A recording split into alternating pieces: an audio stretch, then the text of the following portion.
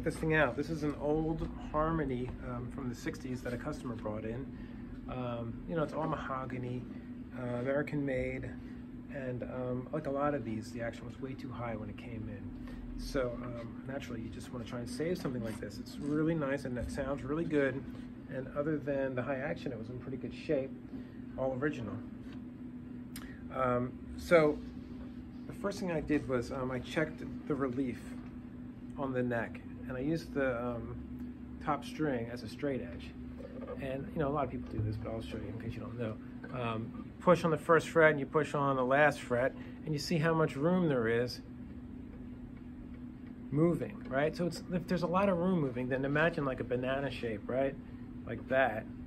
This, the middle part of the string would have all this room. And it was moving a decent amount. Uh, actually, no, it wasn't moving that much. Um, but from here to, let me, let me start over. From here to here, from the body to the first fret, it wasn't moving much at all. But then when I moved back to this fret here, it was moving quite a bit. So I knew that there was a ramp here at the body, which is so common, right? Um, now, what are you gonna do? Uh, if the neck is fairly straight and you have a ramp, well, how about tilting the whole neck back to go with the ramp, right? That's really the answer. So that's a neck reset taking the entire neck out by heating it and then redoing, you know, taking all the old glue out, putting it all back in, getting it straight. It's such a huge job. It's just big money for an inexpensive guitar. Now these are going up in value, but um, still not to the value of a Gibson or a Martin or something like that. So how are you gonna save this thing without spending that sort of money? Well, I've showed you um, pictures of this before, but um, I'll talk about it one more time. I do a quick neck reset. And I, on the next post, I'll have pictures of all this. But what I do is I remove the 12th fret, take it out. I take a saw and I cut right through the rosewood down to the uh, mahogany. And then I spatula this thing off. This section comes off. So I can peer down into the dovetail, which is right here and the dovetail always has a little bit of room below it. Usually, what I do is I make these shims and I hammer them in. I hammer in uh, wedge-shaped pieces of wood that I cut. And you can see the neck go back. It tilts back like if you were shimming a Stratocaster. Just jam them in there. And um, you can even see a little bit of a um, gap here when you do that, usually on both sides. Now this time when I did it, for some reason, the bass side um, just tilted a lot more than the treble. And it probably had a lot to do with what glue was holding and what wasn't. I actually had to pull it back out to straighten it. Um, let me tell you that I actually had the strings on the whole time I did this. And I tightened the strings back up to check my angle. And my, you know, the angle this way is important, and the angle this way is important too. So uh, I tuned it back up while this piece was missing, hammered those things in, checked it, and I realized I had to pull one out, straighten it again. All right, so after I had that done, I glued this thing back on. And I checked the level of it with the strings on again, slid it under the strings. And once I felt like I had good level with minimal buzz, even though it wasn't glued on, I knew I could glue it back. And I actually used a little bit of crazy glue and clamped it and glued it because I wanted to get this thing done within one day. I'm trying to keep the cost down for the customer. All right, so a couple minutes later, I'm back and I realized that the action is still too high and there's just too much going on up here. It's still too much relief up here. There's a little bit of a bow. As you can see, you know, it says reinforced, steel reinforced, but it's not a, an adjustable truss rod. And if I had an adjustable truss rod, I could just back that off, but I don't. So you'll see pictures of this, but what I did was I pulled this fret out and this fret out, and I have a level that I put sandpaper on, and I leveled out the wood from the nut to the third fret. I just kept doing it while those frets were out and um, until I until I saw that this section was level with this section. And you'll see the pictures, I have levels to show me that.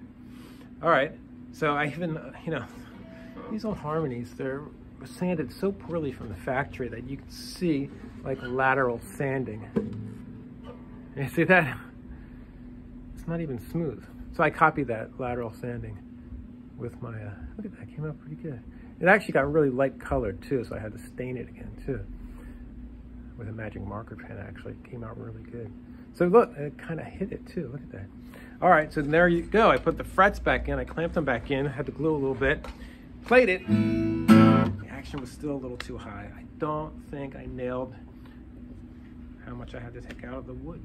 But I took a decent amount out of the wood. And I wanted to show you this too. You can see on the front of the nut, there's a black line. Let's try to get this up there. Right there is a black line. That black line is how much rosewood was taken off. Yeah, you can see there's a lot. Still not enough though. So I took some off the first fret and the second fret with my level. And oh my God, it plays beautifully now. Just that extra amount. Of course, I had to cut each nut slot a lot lower to get down to that level.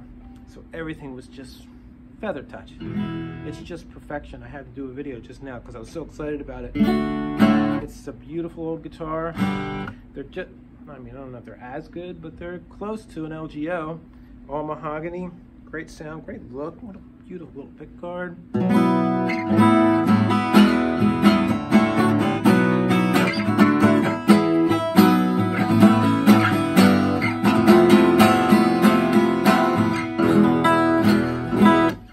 It's so good.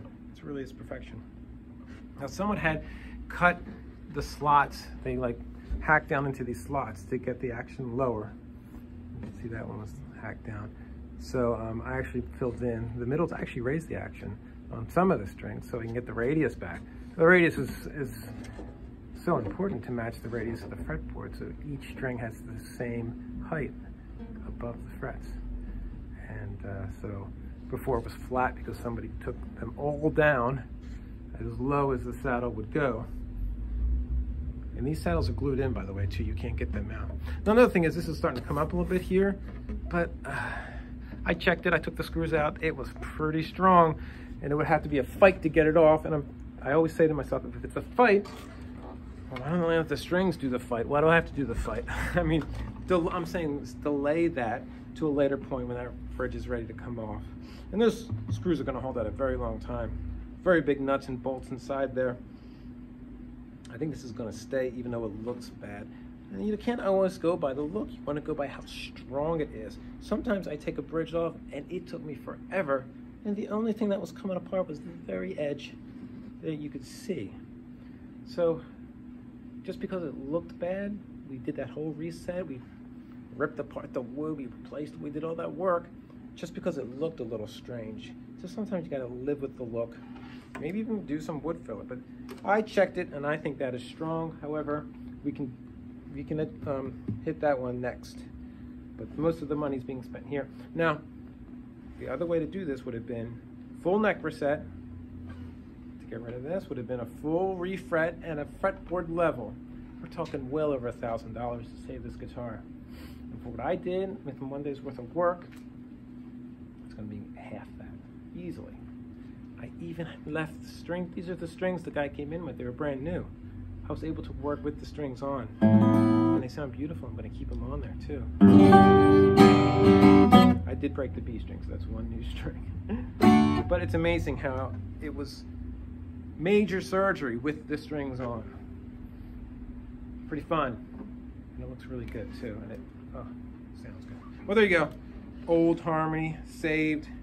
They're not all like this depending on what parameter went bad, a different approach has to be taken. Sometimes it's the bridge, sometimes it's the neck angle, sometimes it's the neck shape. So there's a lot of things that you have to consider before you really rip one apart. I've had people say, I tried your neck reset idea, your quick neck reset idea, and it didn't work. I said, well, yeah, but what was the original problem? You had a banana-shaped neck. That tilting a banana-shaped neck is not going to be the answer. So you have to look at it and figure out what you want and what you what you're trying to accomplish and what the original problem is. All right, that's all I got to say today. Thank you for watching.